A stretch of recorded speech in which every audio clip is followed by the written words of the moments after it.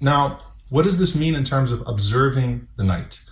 First of all, observing the 15th day of Sha'ban in fasting is sunnah not because it's the 15th of Sha'ban, but because it's the 15th of the month. So the 13th, 14th, and 15th of every Islamic month should be uh, or, or, you know observed in fasting to achieve that sunnah. So that's number one.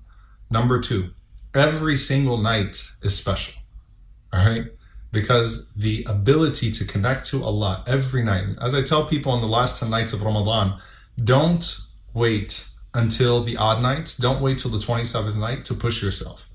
Every night is a chance to repent. Every night is a chance to connect to Allah and His glory and His majesty as He offers that opportunity every single night. Fi kulli layla, right?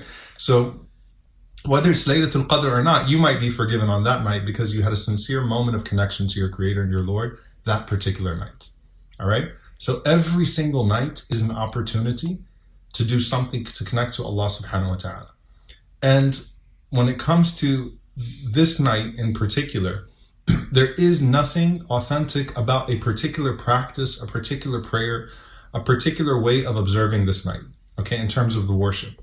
However, some of the scholars mention just by the collection of the narrations, even if the vast majority of them are fabricated and weak, that there's enough there to say that, you know, in general, a person should spend the night in worship and, uh, you know, in, in, the way that the Prophet ﷺ would worship on a regular basis. So in Qiyam, in Quran, and things of that sort. So that's, that is there. That's what Hafid ibn Rajab rahimahullah said.